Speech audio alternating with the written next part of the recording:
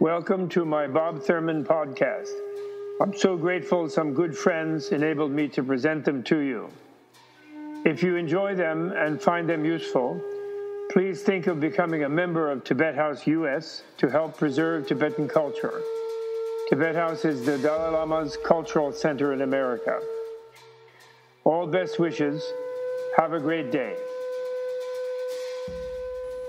This is episode number 20, titled The Uncreated Mind.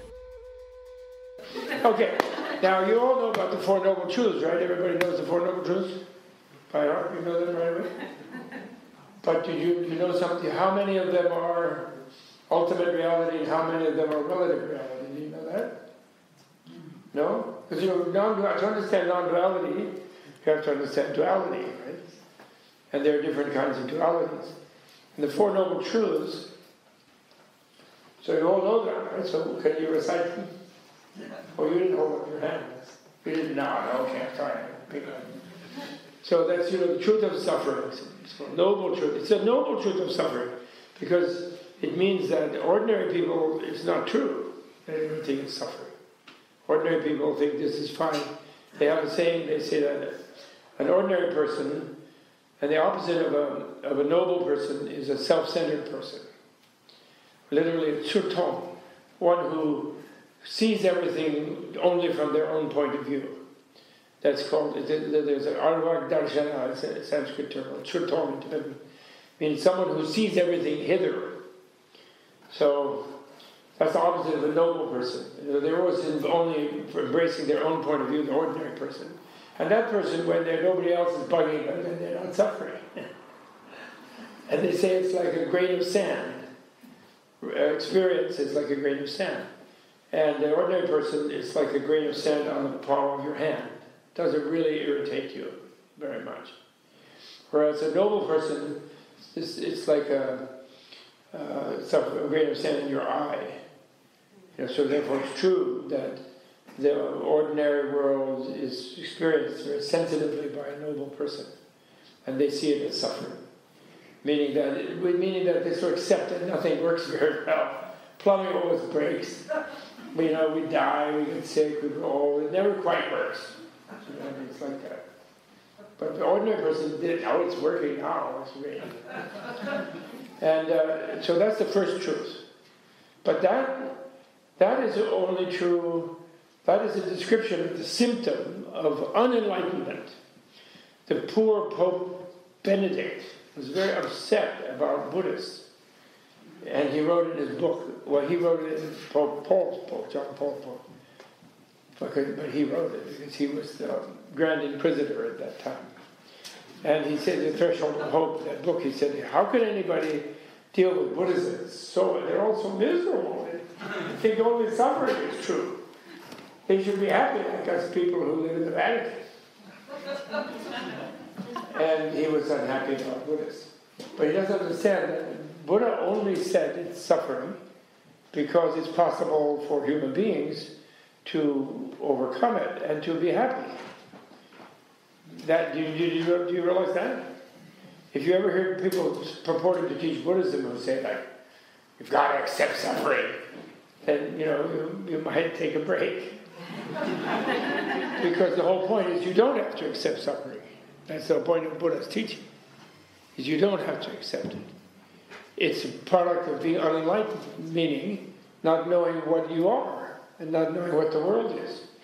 If you don't know what you are, where you are, what the world, who me, you know, then you'll suffer.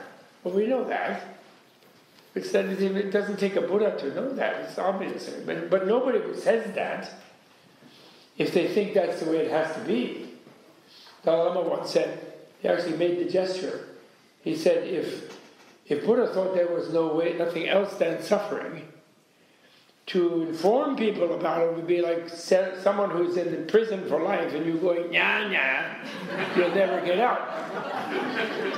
and that isn't nice. right? So that's so the point is we shouldn't overdo about the suffering. We, we don't need another source of suffering since we are, we are piously miserable all the time. We are. We feel okay when we're miserable. I mean, a certain, to a certain degree. Then we feel sort of safe. We can't, we're not going to get more miserable later. We're sort of like, okay, it's all right. when we're really, really happy, we're unhappy, we're nervous because we think somebody's going to get punished. Something's going to happen. It's going to be terrible. We must be crazy. But anyway, second noble truth is the cause of that suffering. Right? And, and that's why Buddhism is not primarily a religion. Because the discovery of causation is not a religious discovery. It's a philosophical slash scientific discovery, right? When, when Ashvajit, one of the Buddha's first five disciples, from the five ascetics, told Shariputra what Buddha taught when Shariputra pressed, pressured him, he said he taught about whatever has a cause, what are the causes, and how to interfere with the causes. That's what the great seeker taught. That's a famous verse of Ye Dharma Prabhavaya. So those two truths, noble truths, are relative reality or superficial reality or actually illusory reality. So in a sense, they're unreal reality. Remember I asked you which truths are which? So those two are unreal reality. But they're, they have some degree of reality, but they're unreal ultimately. Right? Then the third noble truth. What is it, Mary? Come on. That there is a, Huh? there is a path. No, no, no, the third is not. The third, my best student. The third noble truth is nirvana. Nirvana. Which means to being blown away. literally, To being blown out. Like you do when you come back from a YouTube art concert. You say, how was it? Say, I was blown away. Unfortunately, temporarily. But that's exactly what blown out. When blown out is the suffering is blown out. So that's the Buddha's discovery, is nirvana. That's why he was said, if you say if you stay unenlightened, if you don't know what's going on, you remain ignorant, you will suffer. And you should realize you there's no way out of that suffering other than changing your ignorance into wisdom, coming to an understanding of your reality, which means wisdom doesn't mean, you know, seeing some far off place in the sky where you can run away to. That's a wrong understanding of nirvana. Wisdom means knowing what is the reality right here and now. Okay, that's what wisdom means. And I'm not sure that wisdom really means that. You know, I know I was talking with Isa, our guru Isa, and and she was, and we were talking about intuition, and you know, different cognitive words for super understanding. The word prajna in Sanskrit, prajna, nya is the same no word, you know. In English, do you, do you, do you, did you ever really think about why when you know something you have to know it? Which you can't pronounce? You know it, right? When you, when you know it. You know it. So jna, jna in Sanskrit is the same Indo-European root of to know. And that ordinary knowing is something that you do that means with somehow your glottis in the top of your mouth. You, know? You know it in the back of your nose. something you do with your nose. You know. And uh, because, that, because and that means it connects to language, and it means ordinary knowing, what you think is knowing, is having a name for something and, and attaching a name to it, labeling it, and saying, "Oh, that's a window." I know, I know that. So that's why I think it's a, it's a, it's a root like that. Yeah. It's like, it's a kind of control thing. But wisdom is what we translated in these things as wisdom is prajna. Pra means super. Something like intense. So prajna means super knowing. So it's a, it's a, there's still a nya in there, but it's going beyond itself, actually and transcendent knowing, paramita, liberating what it's called transcendent knowing, and that's a knowing that goes beyond the controlled kind of knowing. It's a knowing where you become what you know. You know, you know it without by just kind of merging with object. So it's the non-dual subject-object merging. Shall we wait for you to come back? Oh, sorry. Oh, that's all right. Someone's having a baby. It's okay. Paul. Sorry. Hi. So, so what? I. So, so the, so that's that's so that's that's that's super super, super. So that's the third noble truth. Then the fourth noble truth is what Mary said, the path to the third noble truth. So it's it's like a medical diagnosis. It's not a religious even truth. You don't need to use the word truth. Satya can be reality. It can be fact. For facts, things that are factual for a noble person, non-factual for an ordinary person. And and uh, like a doctor, you know, oh yeah, okay, you're suffering. There's a cause of it. The symptom has a cause, and we analyze and make a diagnosis. And then prognosis is good. Nirvana is waiting for you. You can achieve freedom from that suffering.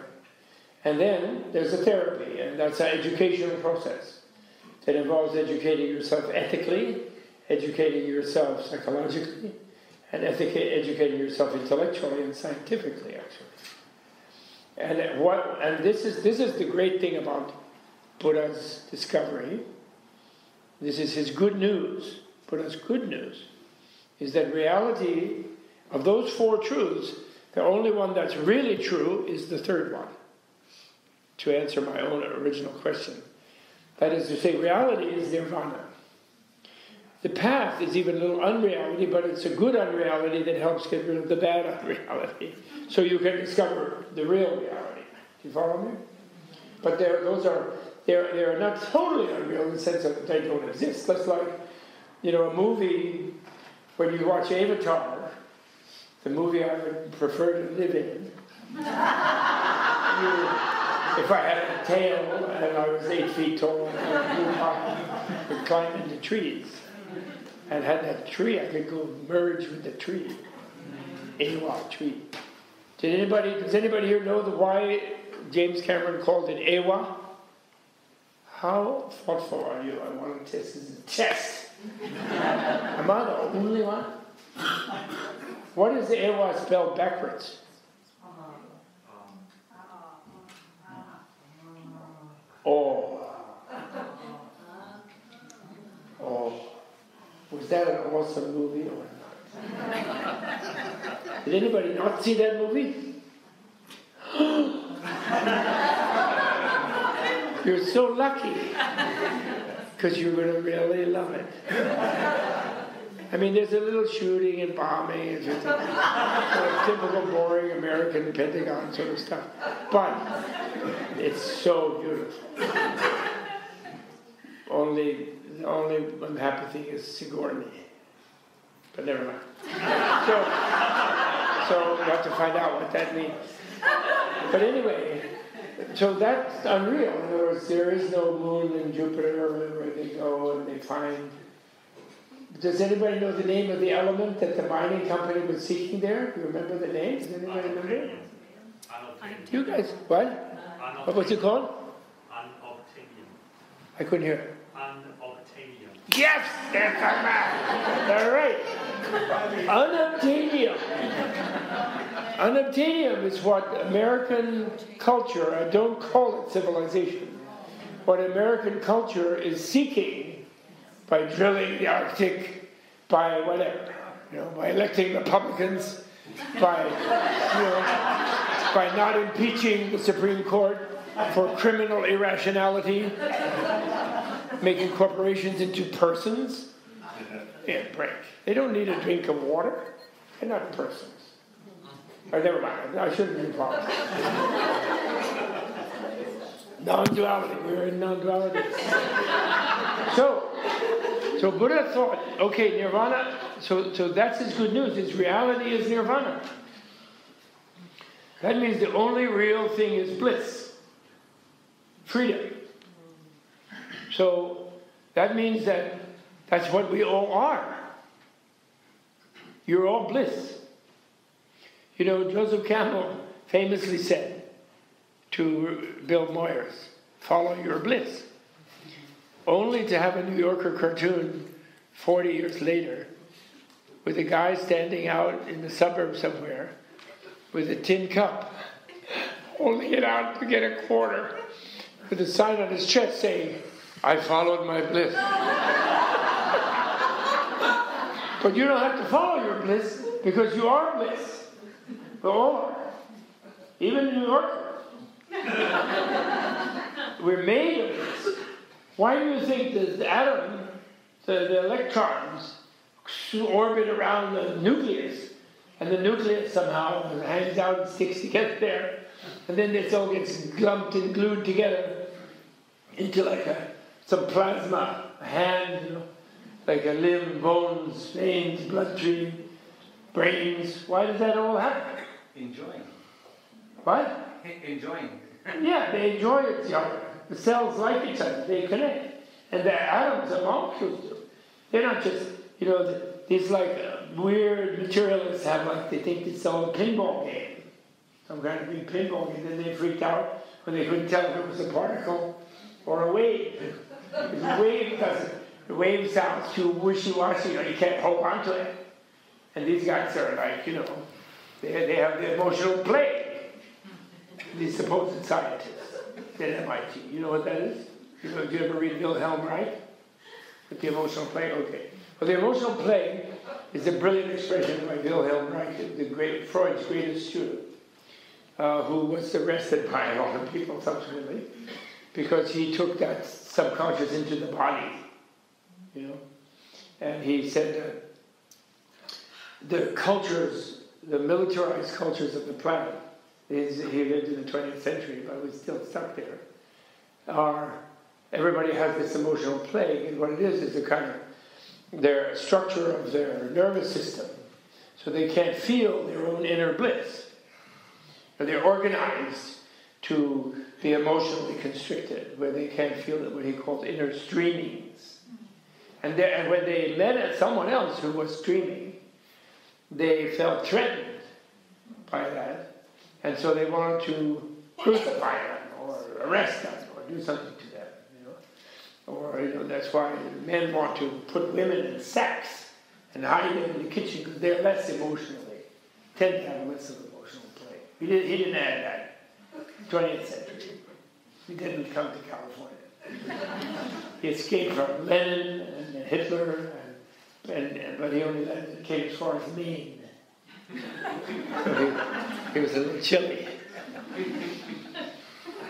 So, so, so because we because we have that problem, the Buddha, you know, that of, of having this emotional plague, having this structure where we deny our own bliss, and we're afraid of it. Actually, anybody who feels uh, bliss feels fear uh, for it about it. They feel oh, I'm going to melt, you know, and so they quickly have smoke or something.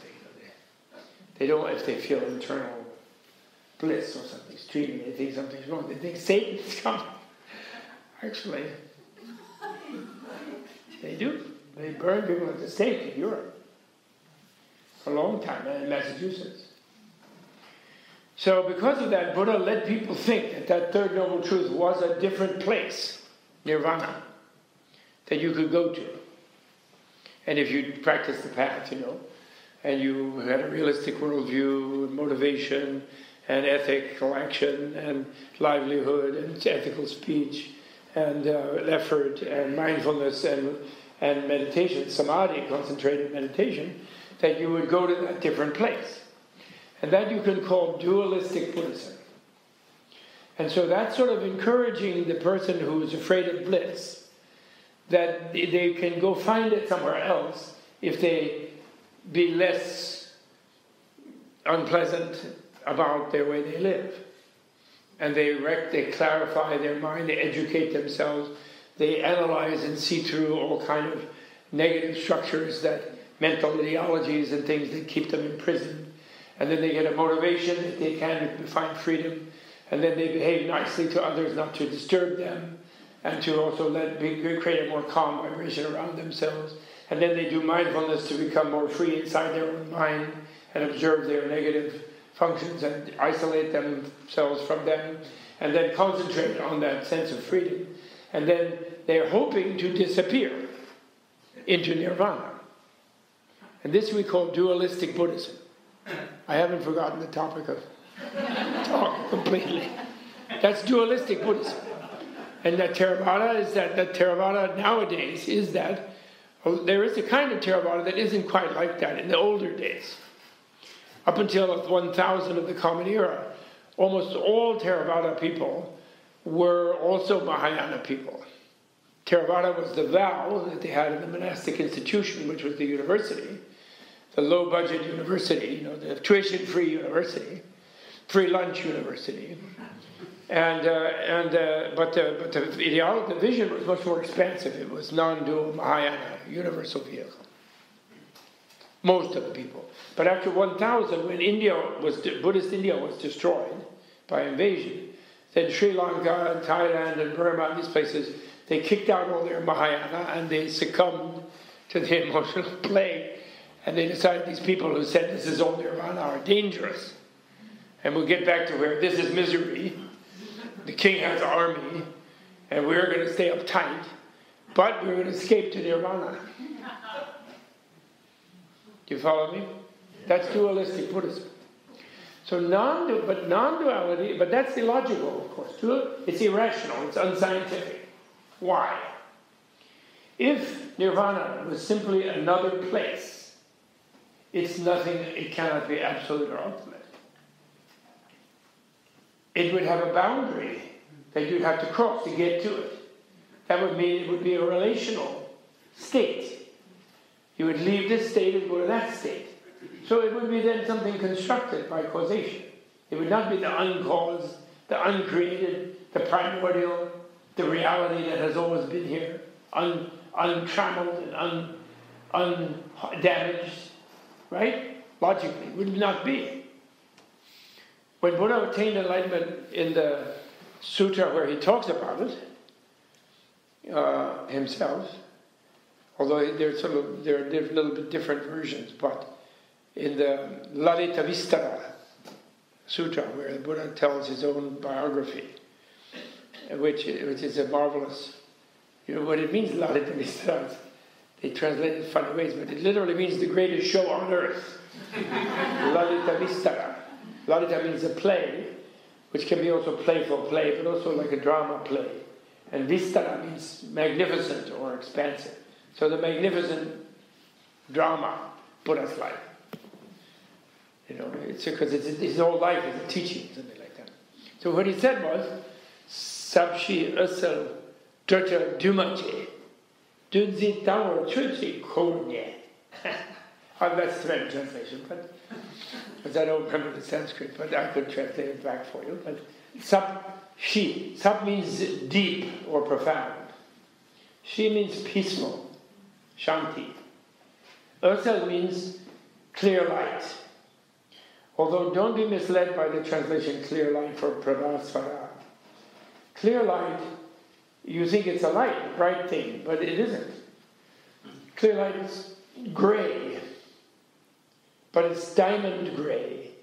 It's a, it's a kind of luminosity beyond dark and light, beyond black and white.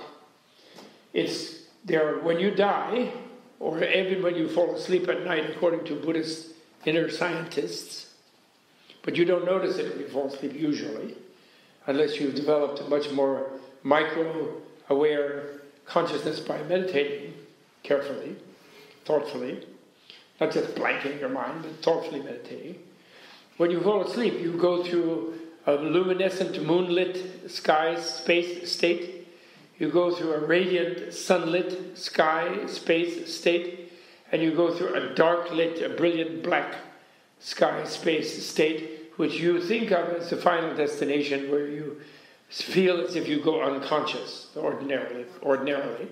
In fact, you welcome that unconsciousness because you're dead tired after a long day, right? Now, nobody's afraid to pass out in that context on your pillow. Far from afraid. You're delighted.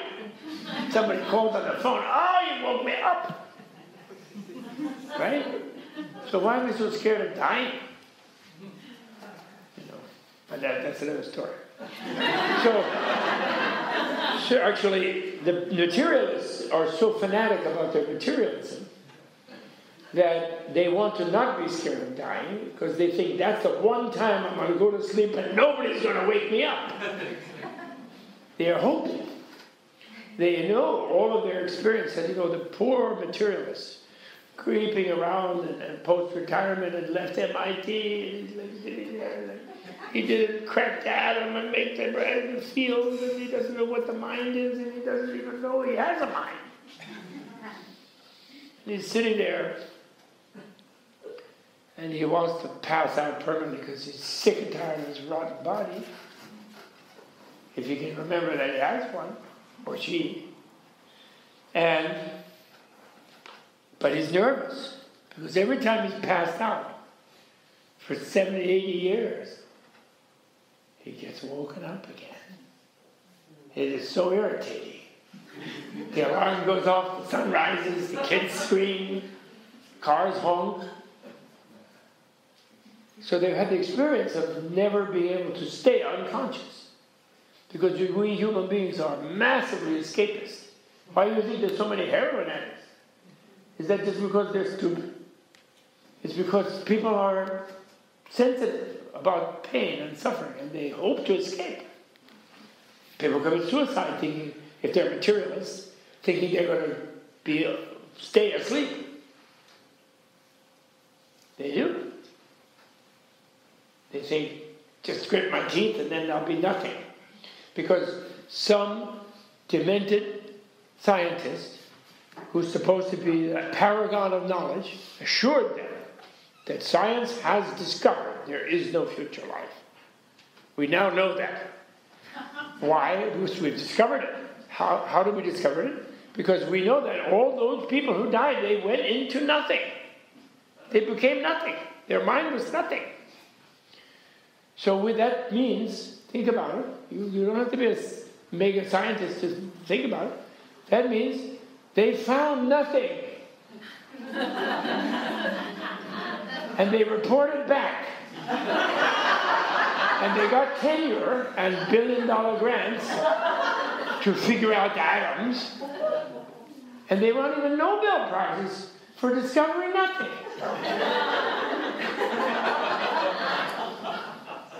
Are you think those people are sane? They don't know what they're saying. They're incoherent. They need a good course in philosophy. Any kind of philosophy. It doesn't have to be Buddhism. Just logical thinking.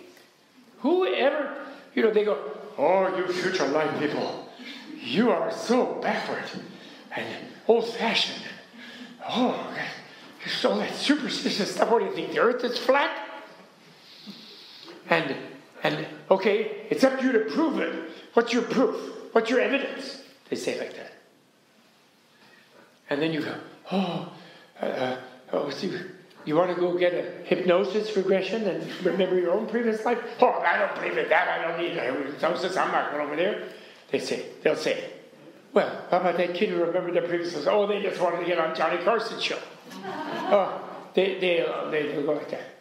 But then what, we never, we're so intimidated by them, we never ask them, oh, Excuse me, what is your evidence that there is no future life? Excuse me. What is it? Who was it who died uh, while still keeping their tenure and reported back at the faculty meeting, hey guys, I don't exist.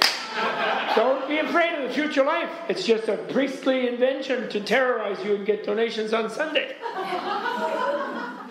Whoever reported back that to you? What what evidence do you have? And not only that, what evidence will you ever have that nothing is there waiting for you? Or that nothing is actually here and you're already nothing? Because if you, that's what they're telling you. Don't you realize that? They say you're just, just your brain. Ray Kurzweil.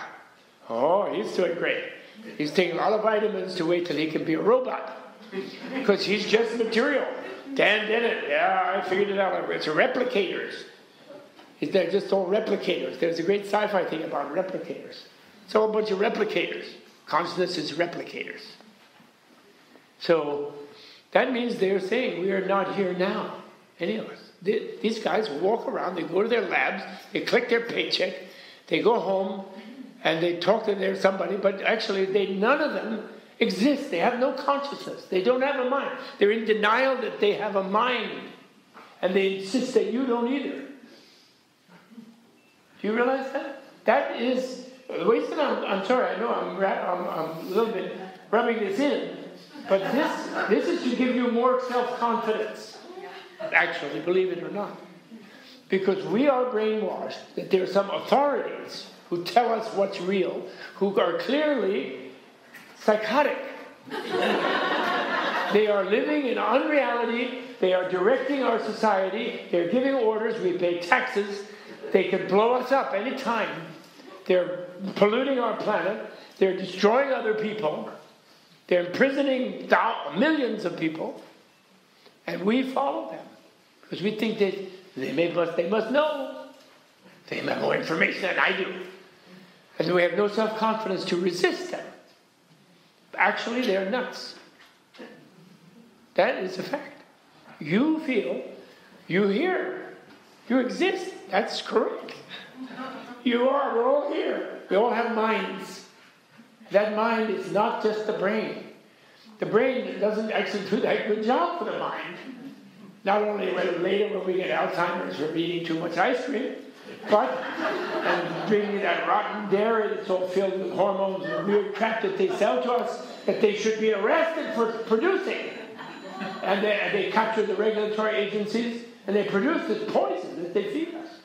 Then this, oh, but give us research and we'll cure you. Uh, you get, oh, you have cancer. Uh, oh, but we've been feeding you this deadly poisons. 80,000 poisons that we haven't studied. I just read on the internet today. They're making a bill, chemical regulatory bill, of the 80,000 unexamined chemicals that are circulating around in our bodies already now. They're going to investigate five a year.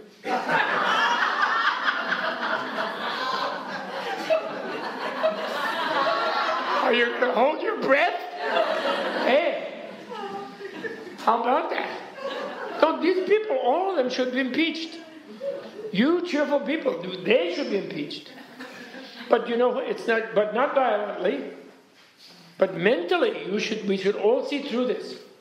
And, and when you see through this nonsense, and next time you're in the dentist's office, and they tell you, oh yeah, I'm putting zirconium in there, I'm not putting uh, other weird stuff. And then you, this thing is in there that goes like zing, and all your nerves go like, ah, and you don't believe them. I'm, I'm sorry.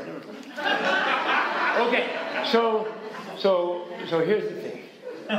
So, Buddha's news is this reality is divine. He said profound, deep, peaceful, and luminous.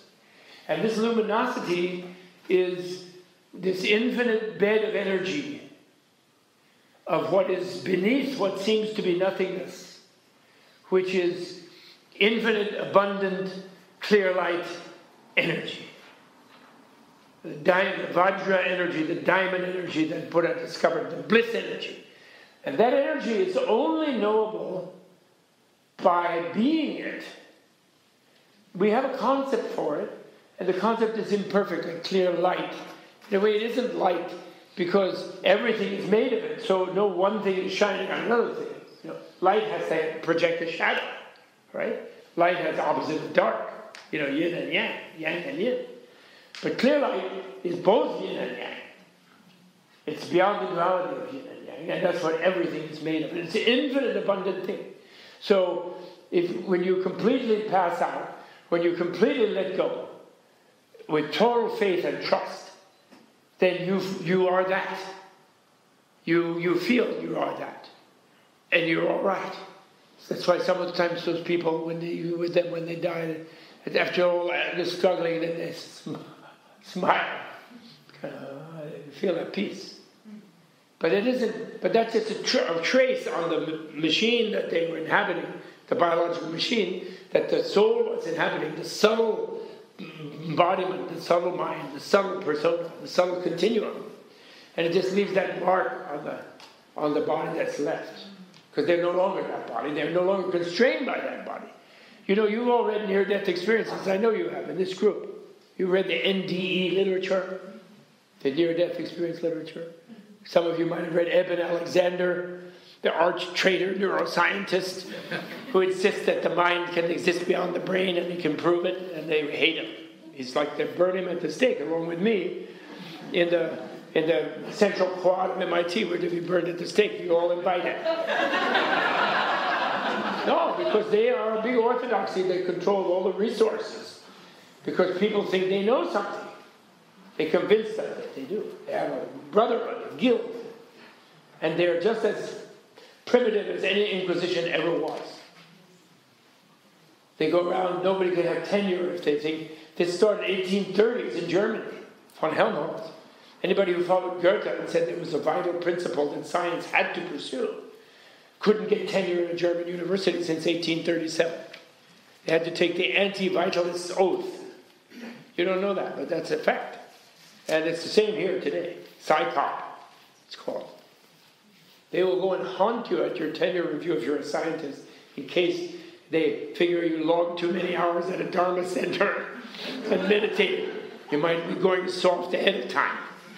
They don't mind if the old guys after the Nobel Prize go soft and talk about spirituality. That's kind of thing. I think that's cute. But they're not getting any money anymore anyway.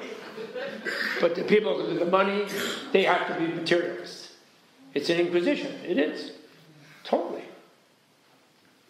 Non duality, I'm trying to give you this self confidence because non duality is a very powerful idea and it's something that you can get at as an idea, and you can open your mind toward it, and it will give you tremendous, be like a balm to your mind.